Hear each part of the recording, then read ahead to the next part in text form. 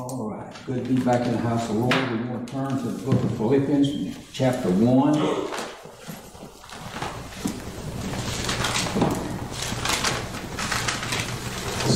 It's a- good study here, and Paul, uh, we see here Paul is writing to the church here in verse 1. Of course, he wrote to many of the churches, and I notice uh, in, in his writings, he always uh, uh, wishes them that uh, that they have peace and grace be unto all of them, and that this morning is something that we, as God's people, need to pray for and pray about. Is to just continue to send peace our way and and to encourage our hearts. Amen. Paul said in chapter one, verse one, Paul and Timothy, the servants of Jesus Christ, to all the saints in Jesus Christ which are at Philippi, with the bishops and the deacons. Now we see here that Paul is, is talking to the talking to the church, and he's saying servants of Jesus Christ. And this morning, uh, if there ever was a time when we that are, are saved and are trying to live in a way that would be pleasing to the Lord, that we need to be a closer servant to the Lord, and we have a need for a closer walk with Him because uh, the times are bad, the times are dangerous, and the times are uh, uh, are not good in, for Christians. So we want to we want to understand this morning that uh, what Paul is saying when he said here to all the saints in Christ Jesus, which are at Philippi. And of course, that that that is uh, for all of the saints that we need to pray for, and the bishops and all the other churches. We need to pray for them, be in, in, close contact with them, and let them know that we're praying for them. And for those like we mentioned here already that, that are sick, we want to pray for them and and and be in their be in the Lord's will. But he said here with the with the bishops and the deacons, of course, if if you wanted to, and you turn to Titus just a minute, we'll, we want to see something about this bishop uh, in Titus 1. And let's look at uh, verse 5. Titus 1, verse 5. For this cause I left, I left, for this cause left I thee in Crete, that thou shouldest set in order the things that are wanton and ordained elders in every city as I had appointed thee. If any be blameless, the husband of one wife, having faithful children, not accused of rioting or unruly.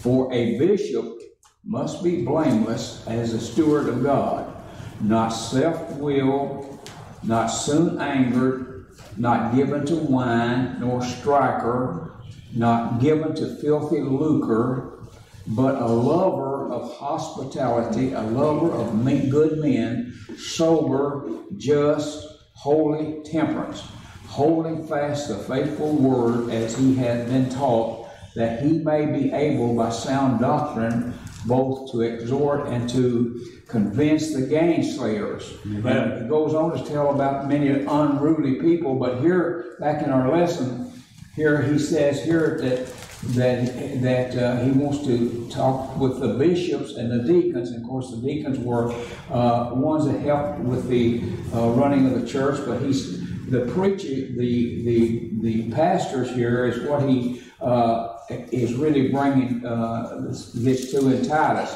But now in verse three of our lesson, or verse two, grace be unto you and peace from God our Father and from the Lord Jesus Christ. So we see again, Paul is always, he's always coming to, to greet the churches, even if he couldn't be there, if he wrote letters or if he come to see them, he's saying here, grace be unto you. Mm-hmm. And this grace, people, is something that so many of us uh, sometimes look at and, and say, well, grace, grace, you know, but we don't realize what, what really the word grace is sometimes. And it, it's, uh, it's very important that we should uh, uh, study more on this and, and, and, and know what we're saying, thinking about. But he said in verse 3 then, I thank my God on every remembrance of you. And again, here I want to ride that horse again, but the thing of this, we need to remember those that we have associated with. We need to remember those that are in different churches. Sometimes we fellowship with them or whatever. But he said, I thank my God on every remembrance of you. And, and we have we have brothers and sisters in other churches, and it's our duty as a Christian to pray for them and Amen. to remember them and to uh, uh, tell others about them because listen, they're living uh, the life like we want to live too. And so we we need others to pray for us and to remember us and to tell others about us that we might serve the Lord in a greater way. And so always in verse 4, always in every prayer of mine for you, all making requests with joy. Now I want to read you some stuff here this morning in, in Romans 1 8.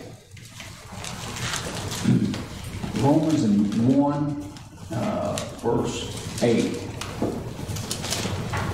First, I thank my God through Jesus Christ for you all, that your faith is spoken of throughout the whole world.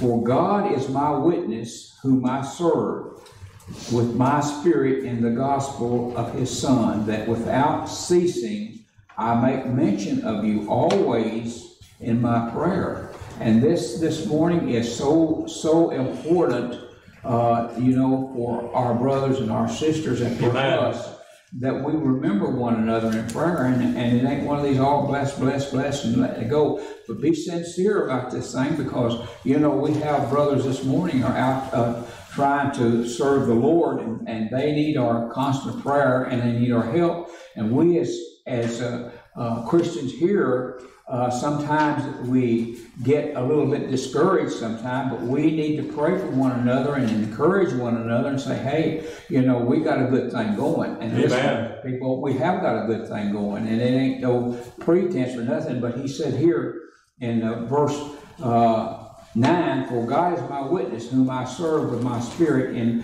the gospel of his Son, that without ceasing I make mention of you always in prayer and in love. I know, making request if by any means now at length I might have a prosperous journey by the will of, of God to come unto you. And so you see how Paul had a uh, love for the other churches. And sometime in, in his writings there, he said, I was hindered and I couldn't come to you. But the thing of it is, here he says, making request if any by any means now at length I might have a prosperous journey by the will of God to come to you. And this uh, again is something that we need we need to remember in our everyday prayer for those that are uh, going from church to church and those that are over in uh, other countries and, and hope and pray for them for a prosperous journey. You know, Brother Kraft and them has, has really had a journey, and we need to remember him and, his family. Uh, and then verse uh, uh, verse eleven, for I long to see you, that I may impart unto you some spiritual gift, to the end you may be established. And so our our desire, our earnest desire, is to tell others, to tell our brothers and sisters of other churches and all, hey, I've had a good month. It's been two or three months since I've seen you, and uh, I've been praying for you, and, and I know you've been praying for me, and we've had a, a wonderful time in our church. And encourage one another because I guarantee you, uh, those that are, are that are not uh, serving the Lord, hey, when they get together and they uh, have their big hoorahs and all this, listen, they encourage one another, tell them, hey, I went down so and so and I got drunk down there and I went down there and I did this and I run over that. And, and listen, that's their encouragement hmm. to others because, hey, they have a big laugh about it and say, hey, that's, that's, that's good living. But listen, we need to be on fire for the Lord and tell our brothers and sisters how good the Lord has been to us. And my, I, I, I've got to tell you this because it comes to my mind. Just that we went out yesterday, and we were going up and down Hudson Larry's, and we saw a rainbow. I have never. I mean, it was, and, and it, the Lord impressed me with this so much. I thought, what a great miracle it was. And uh, we, we was going to call back and tell them uh, tell Donna and Larry to look at it and see if they could see it. But we forgot our phone. But it was a beautifulest, it was a prettiest, I mean, it was something that just touched you. And you think about, you think about why that it's there, and uh, it's a reminder to God uh, that the statement that he said, I'll never flood this earth again. And so there's so many things in God's word, and, and we can use these things to encourage people, just like that rainbow encouraged Donna, I mean, uh, Diane and me, because Amen. listen, it was, it was, it was just, it was just something magnificent. But here, he said here in, in our in reading here, uh, he says, For I long to see you that I may impart unto you some spiritual gift to the end you may be established. That is, that I may be comforted together with you by the mutual faith, both of you and me. See, so uh, when we have the same faith and when we have uh, time to get together with other churches and other uh, brothers and sisters, listen, we need to encourage one another and, and to express our desire to uh, uh, see them prosper and to uh, lead them in a way that would, the Lord would lead them in a way that would be the right way. So here, here again, he says in verse 12, that is, that I may be comforted together with you by the mutual faith, both of you and me. Now I would not have you ignorant, brethren, that oft time I purpose, here it is, to come unto you but was led hitherto that I might have some fruit among you also, even as among other Gentiles. I am a debtor both to the Greek and to the barbarians, both to the wise and to the unwise. So, as much as is in me, I am ready to preach the gospel to you that are in Rome also. So, he's letting them know this morning, hey, I'm ready to come to you. I'm ready, and and he knew Rome was a bad place. And uh, but anyway, he said, I'm, I'm glad to see you. I want, I want you to know that I'm be glad to see you. So back in our lesson again, let's uh, in verse uh, uh, five of the Philippians one. For your fellowship in the gospel from the first day until now, being confident of this very thing, that he which hath begun a good work in you will perform it until the day of Jesus Christ. Amen. So even as it is meant for me or meant for me to think this of you all, because I have you in my heart, inasmuch as much as both in my bonds or chains, whatever the case might be, and in the defense of the confirmation of the gospel, ye all are partakers of my grace. And Amen. so, uh, it's grace, grace, grace, and, and uh, uh, we need to we need to uh, be closer to the Lord that we might understand the word grace closer. God in verse eight, God for God is my record. How greatly I long after you all in the vows or love of Jesus Christ. And this I pray that your love may abound yet more and more in knowledge and in all judgments. And so he is he is writing this letter to the, the church here, and he's saying, This I pray that your love may abound yet more and more in knowledge. In other words, study to show yourself approved, and I can get this Amen. this uh, rightly dividing the word. And we this morning, this should be this should be our our sidekick all the time. When we when we sit down somewhere, we should have an opportunity to read some of it and to rehearse some of it and to make notes of it. Because listen, I have found out lately that I can get a blessing. And I can, if I don't write it down, people, I forget what book of the Bible it's in, which is a which is shame, but, but it's that way with me anymore. And, and so I write down about everything that I read that I want to remember, and then I can go back and refresh my memory and over and over. And this is what he's talking about here. He says that, uh, and this I pray that your love may abound yet more and more in knowledge and in all judgment. Verse 10 that ye may approve things that are excellent or are really, uh, that really matter, that ye may be sincere and without offense till the day of Christ. And here he's just praying for them, telling them that he's hoping that they will stay in a condition, stay close to the Lord, where that uh, they will make it through their life. And he says uh, uh, that you may may be sincere and without offense till the day of Christ. And of course, uh, we know that that's what that's what we we need to shoot for. It needs to be our goal this morning is to live in a way that would be pleasing to the Lord and and be sincere in this uh, desire to live for Him. Because He says in verse eleven, being filled with the fruits of righteousness which are by Jesus Christ. Amen. Unto the glory and praise of God. So fill with the fruits of righteousness. And that this morning uh, it, it is a, a, bearing situation and a holding situation, but being filled with it, uh, you can you can uh, take it either way. But he's always wanting uh, the fruit that uh, that you produce to be for Jesus Christ and unto the glory and praise of God. Now, in verse 12,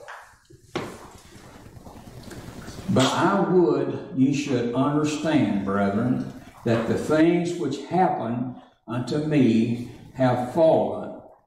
Now, this fallen means to uh, turn out, or, or uh, uh, rather, unto the furtherance of the gospel. And what he's saying Amen. this morning, all of his all of his troubles and his trials and his uh, efforts that he uh, wanted to come see other people, uh, churches and all, and he couldn't make it at the time, and how the devil had hindered him. But he says, But I would ye should understand, brethren, that the things which happen unto me have fallen or uh, uh, out rather unto the furtherance of the uh, of the gospel. And so he's saying these interferences that have happened to me. Listen, I didn't get weak by them, but I got strong by them. Amen. And the thing here this morning is that we need to take this in consideration uh, uh, when it seems like that everything that you try to do or touch or do this goes wrong. This is an encouragement to have patience. This patience will give you strength to uh, continue on serving the Lord because uh, the Lord uh, knows what's going on with you, and sometimes He lets these things kind of ease into you to kind of give you a little bit more patience and strength. And this is what Paul is saying here. He says, they have encouraged me, these, these things that, that are, are hindering me, he knows that the devil is trying to fight at him, and he's saying, Hey, because he's fighting me, I'm doing something good. Mm-hmm. And it's the same way with us this morning. When the devil goes to hinder us, or uh, when our flesh goes to hinder us, hey, you take you take notice of that because that is because that you're trying to serve the Lord. Amen trying to be a blessing to someone, and you know, even even uh, uh, anything anything that you want to do for someone, well, they're able to do it yourself, or they can do this, or they can do that. But the thing of it is, you're not producing any fruit when you let right. that get you down, and so you need to produce some, that fruit. So he said here, he says here uh, that the things which happen unto me have fallen out rather unto the furtherance of the gospel. And so uh, he, uh, this fall, and I got it wrote down here, turned out. It's turned out to be the thing that I needed to do. And so that, in verse 13, so that my bond, bonds or my uh, uh chains or whatever he uh, was using there, so that my bonds in Christ are manifested or uh, exalted in all the palaces and in all the other places. And so what his his putting in prison, throwing in prison, or this and all, he says, hey, it's it's been all right because it's furthered my my, my work and helped uh, other places. And he said it's manifested in the, all the palaces and in all the other places. And many of the brethren in the Lord, waxing confident by my bonds, are much more bold to speak the word without fear. And so this is why he's saying this about his bonds and his suffering and his turmoils. He says, and many of the brethren in the Lord waxing confident because they had seen the things that Paul was was was suffering and they they took it to heart and they, they are serving the Lord closer because they see Paul. And listen, that sometimes is the same way with us this morning. Mm-hmm. You know, when we have these problems, these earthly problems and, and fleshly problems or spiritual problems, listen, if we can if we can face them and, and keep going, it's an encouragement. Uh, you know, even when when uh, uh, people get sick, uh, and, and, and you know they, they, they're, they're getting close to death and all this and you see uh, a good strong uh, Christian laying there or something you can you get you get confidence in that and, and, and, it, it makes you to want to get closer to the Lord because you don't know when you're going to have this uh, uh, this problem or some of the problem. And so it's an encouragement and that's what Paul is saying here this morning when he says here, so that my bonds in Christ are manifested, and in all the palaces, and that's when he was brought before the kings and all this, and in all the other places. and many of the brethren in the Lord, waxing confident by my bonds, are much more bold to speak the word without fear. And even, even in witnessing, even in witnessing, the more that you can witness and the more that you can tell the, the people the truth about the Lord Jesus Christ and what He has done for you, He's saying here that they did it much more because they seen Him doing it, Amen. doing it without fear. And so here, some indeed preach Christ even of envy and strife, and some also of goodwill. The one preached Christ of contention, not sincerely, supposing to add afflictions to my bond. And so he was he was uh, uh, uh, bad mouthing Paul, and he's saying here the one preached Christ of contention, not sincerity. And so supposing to add affliction to my bond, but the other of love, knowing that I am set for the defense of the gospel. Amen. And hey, uh, uh, you know, uh, this word set, I, I seen it as appointed, and he says here, he says, I am appointed uh, to, to this, this defense uh, uh, uh of Jesus Christ and of the gospel.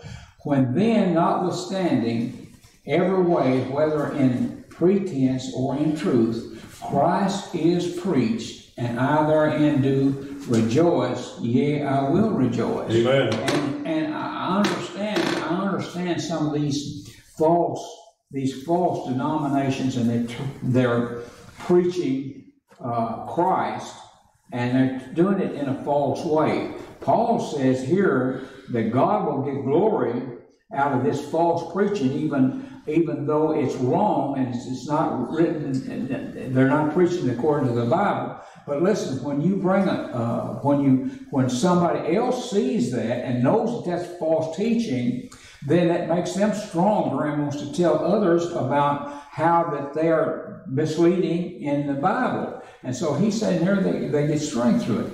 And so he says in verse 19, For I know that this shall turn to my salvation through your prayers and the supply of the saints of Jesus Christ, according to my earnest expectation and my hope that in nothing I shall be ashamed, but that in all boldness as always, so now also Christ shall manifest in my body, whether it be by life or death. Mm-hmm.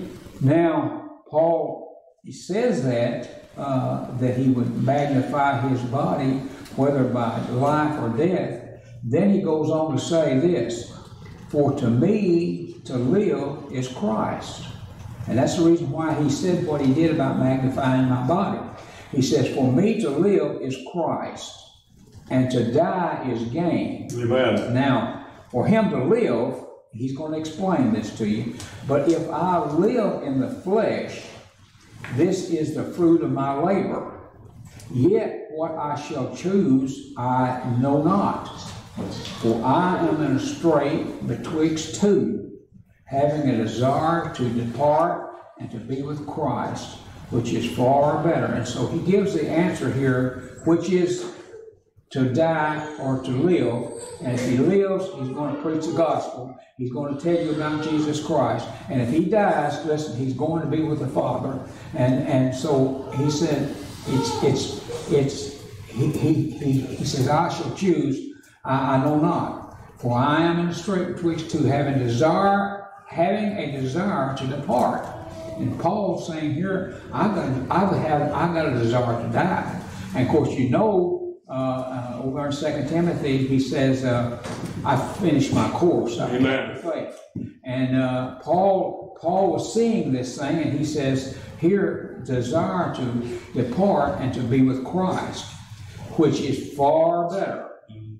Nevertheless, to abide in the flesh is more needful for you. And Paul, thinking about the church that he was writing to, or the churches that he was uh, uh, writing to, he says it's, it's better for me to stay here and to suffer this persecution for your sake.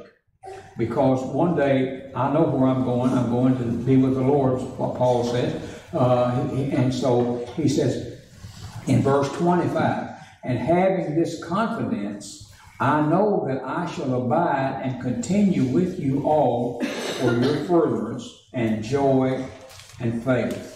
And so he's, he's saying, hey, I know if I stay here, and you're going to progress and you're going to you're going to serve the Lord. And so he says it's better for me to stay here and suffer this persecution. And so when we when we get down and out, sometimes say, well, I'd be better off dead. Mm. Listen, don't let the devil don't let the devil get that thought in your mind because hey, as long as the Lord wants you to stay here, you have an option. Uh, uh, you can, I mean, have a desire to to tell other people about uh, what they need to hear. Amen. And, uh, and so uh, Paul, Paul was uh, uh, he was ready to go, but only here he says, notice here now in verse 26 that your rejoicing may be more abundant in Jesus Christ for me by my coming to you again.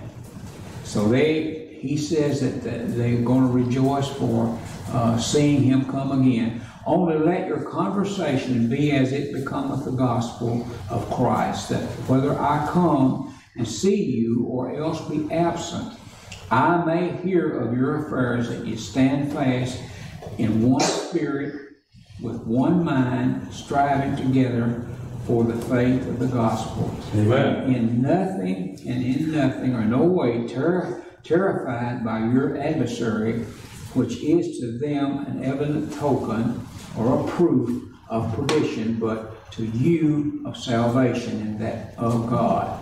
For to you it is given in the, the behalf of Christ not only to believe on him, but also to suffer for his sake, having the same conflict which he saw in me and now bear here, here to be in me. And so he says here, if there be any consolation mm-hmm. in Christ, if any comfort of love, if any fellowship, I'm going read this of the Spirit, of any bound or love and mercy, fulfill ye my joy, that ye be like minded, having the same love, being of one accord, one mind.